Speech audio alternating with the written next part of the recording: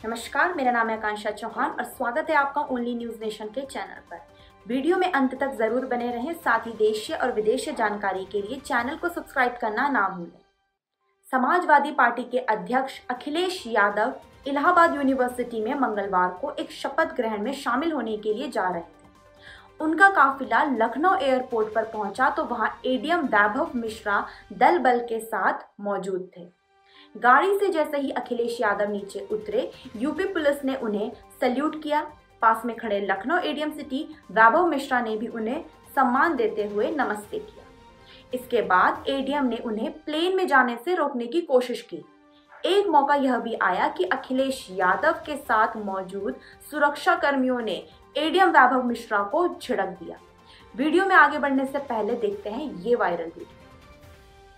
हालाँकि इसके बावजूद वैभव मिश्रा अखिलेश को मनाने की कोशिश करते रहे, इस दौरान अखिलेश यादव ने वैभव मिश्रा से एक सवाल किया, जो चर्चा का विषय बना हुआ है। दरअसल, समाजवादी पार्टी के अध्यक्ष अखिलेश यादव जैसे ही गाड़ी से उतरते हैं, पुलिसकर्मी उन्हें सल्यूट करते हैं। वहीं एडीएम वैभव मिश्रा नमस्ते करने के बाद अखिलेश यादव को रोकते हुए नज़र आ रहे हैं। इस दौरान एसीपी चीफ या कह रहे हैं, एक मिनट पहले बात बताइए। साइड में बात कीजिए। हाथ मत लगाना। हाथ मत लगाना, पहले बात करो। तुम कितना पढ़े लिखे हो? कारण क्या है? इस पूरी बातचीत में एडीएम वैभव मिश्रा से अखिलेश यादव ने सवाल किया है कि आखिर तुम कितना पढ़े लिखे हो? अखिलेश यादव का यह सवाल इसलिए चर्चा में है क्योंकि वैभव मिश्रा 2008 पीसीएस बैच के टॉपर रहे हैं। ऐसे में उनसे यह सवाल किया जाना अजीब माना जा रहा है। इसकी वजह से अखिलेश यादव को सोशल मीडिया पर आलोचनाओं का भी सामना करना पड़ रहा है। जानिए कौन है एडीएम वैभव मिश्रा। दोस्तों, बता दें कि वैभव मिश्रा प्रतापगढ़ जनपद की पट्टी तहसील क्षेत्र के गजारिया गाँव के मूल निवासी हैं।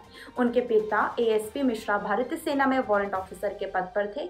चार भाई बहनों में वैभव सबसे छोटे हैं। वह जब पाँच साल के ही थे, तभी उनके पिता का देहांत हो गया था। वैभव मिश्रा ने शुरुआती पढ़ाई लिखाई गजारिया के ठाकुर श्याम सुंदर सिंह स्कूल और पट्टी के रामराज इंटर कॉलेज से हाई स्कूल किया। उन्होंने लालगंज के रामजोर इंटर कॉलेज से इंटरमीडिएट की पढ़ाई पूरी की। इसके बाद वह इलाहाबाद पहुँचे, जहाँ इलाहाबाद यूनिवर्सिटी से बीए और पोस्ट ग्रेजुएशन करने के बाद जेआरएफ की पात्रता हासिल की। इसी बीच वैभव बिना कोचिंग के मदद लिए ही 2008 पीसीएस बैच के टॉपर बने।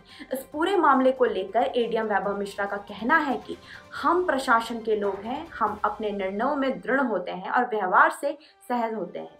हमें इन बातों से फ़र्क नहीं पड़ता कि किसने क्या कहा।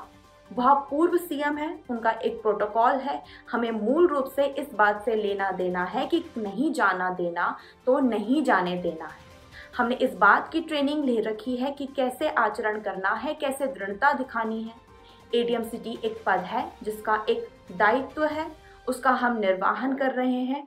उस पूरी घटना का ज़िक्र करते हुए एडीएम सिटी वैभव मिश्रा ने बताया, इलाहाबाद जिला प्रशासन की एक रिपोर्ट थी कि वहाँ शांति व्यवस्था भंग हो जाएगी। उस रिपोर्ट के आधार पर हमें अखिलेश यादव को रोकना था।